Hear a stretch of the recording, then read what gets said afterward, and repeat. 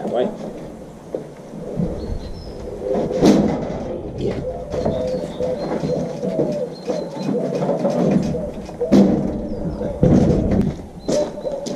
Uh, which way are we going?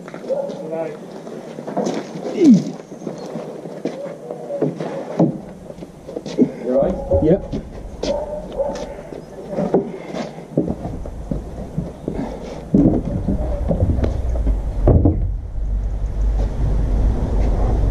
Nice. So I'm going to make a worktop for my mum's kitchen. So typically here it started raining. Um, anyway, it's brief shower. But what I do is I measure the middle of each end and then we put a straight line down the middle of the piece of wood. This gives us something to work off and I can make my cut 90 degrees perpendicular to that.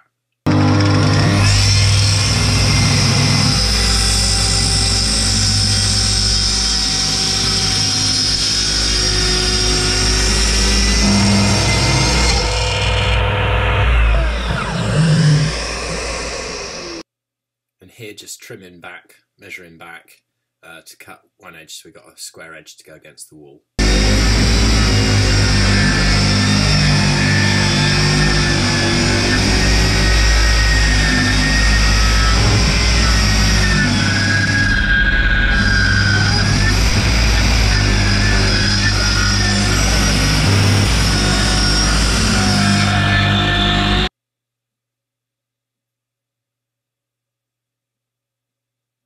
Now it's just a case of final trim on that end just to square it up. And in and out the house, in and out the house, measuring, measuring, measuring, just trying to shoot it into the walls that aren't straight, a um, little bit off at a time, um, make sure it fits nice and tight basically.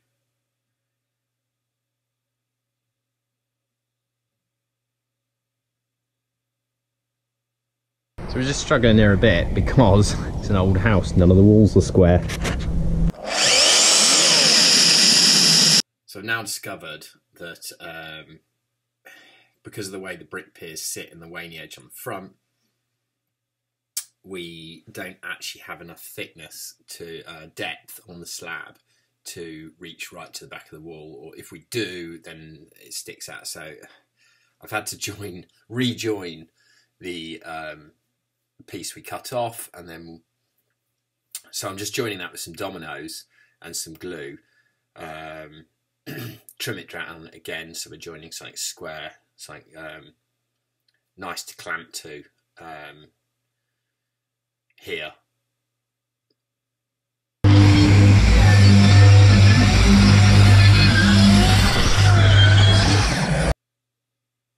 so I thought basically what we'd do now is drill some holes and then we'd clamp it with some screws and we'd take the screws out once we want to trim it to size um,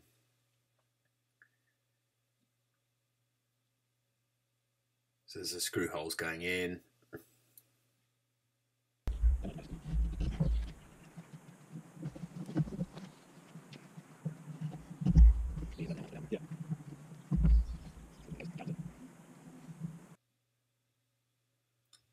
So now as I join it, I put the screws in and it, it's still got a gap. It's not really squeezing the glue out as much as I hoped. So I whizzed around my neighbour, borrowed some clamps and we're worried about marking the live edge, so we actually put the bark back on and then some bits of card as well.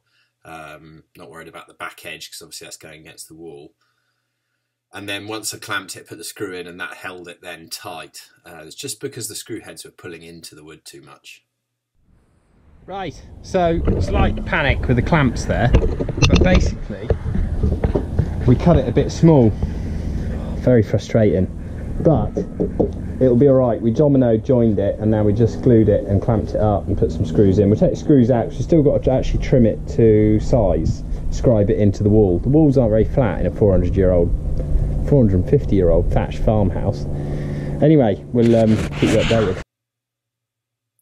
Now just comes the sanding. So I think we, we started off at 40 grit, quick buzz over, take off the highest spots, 60, then on to 80. Um, grit, 80, 120, then up to 240. Uh, final trim cut to size. Uh, cut out a little notch for a wire that comes through in the corner there. Uh, just again, you've got to be so careful sanding that live edge front. You know, you just take all the character out of it if you're not careful. So trim the back now to size so it goes back against the wall. And actually, this exposed the dominoes, which is kind of cool to look at. Um, just shooting it in now with a sander, I actually cut it so it had an angle on the back of the slab and then just the top part sitting against the wall.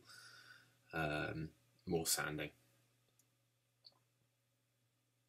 I had to go and pick up the kids from school as well, so that's why um, I shot off in the Land Rover.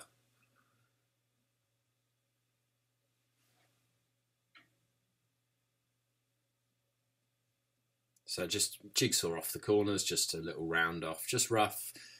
Have a look, see what it looks like. Always take more off if you want when I go back in. Um, and now the kids back from school, they always kind of like it was Friday, so they were kind of hanging out to get home, but they, they didn't mind. They quite enjoyed watching the wood change colour, you know, and they been coming up with different names for this sculpture that I was just giving another coat of oil to there as well.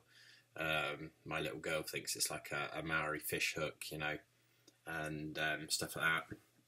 And then kids got picked up by my darling wife, and just spreading the um, uh, Osmo Poly X. Um, it's oil, oil with polyurethane, um, and just really let it soak into those knots as some of the bark there, the dark areas round the round the knots on that one, and um, that really does absorb quite a lot. Keep working it in. Um, yeah, really chuffed.